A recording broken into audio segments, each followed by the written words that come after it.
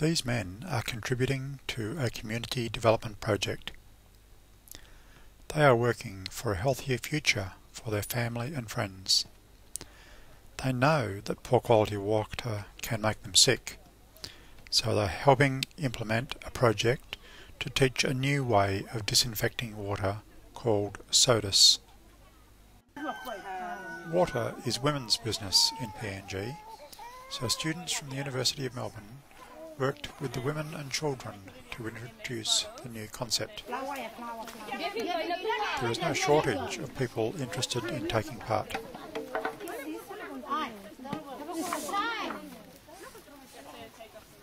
Wash your hands first.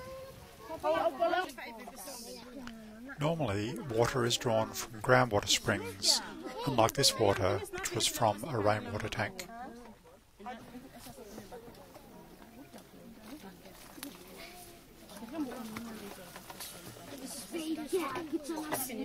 Um, was using the bottles? Yeah. And, and I gave her two bottles. yeah, And I told her to fill fill those two bottles with uh, water yes, and leave it in the sun. yeah. I say um, a full sun, uh, full sun, and then uh, in the morning, early in the morning at six o'clock, she comes out and, takes brings them inside. and put them inside. the Okay. house. Just for drinking, not for cooking. Yes, yes.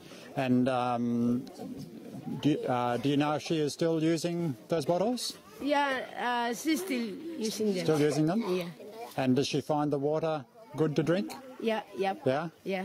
And um, has her baby um, been healthy? Um, Yeah, you- they, you- the- the- um, three of them are right. You want all the women to come up? The men have finished preparing the table on which the water will be disinfected. The method uses ultraviolet light and heat from the sun to kill microbes in the water. The method, called SODIS, short for solar disinfection, is being promoted as an affordable way for families to take control of their own water quality.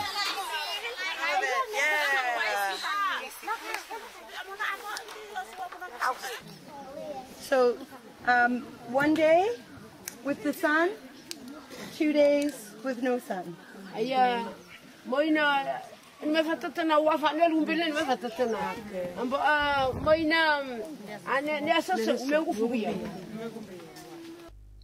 Now the practical part is over, it is time to move to the classroom. We would like you to do some, just some posters to put up around the health centre, um, letting the other villagers know what happens when you drink dirty water. So um, you might draw a person with a sore tummy, or you might draw water with germs, or maybe get in groups.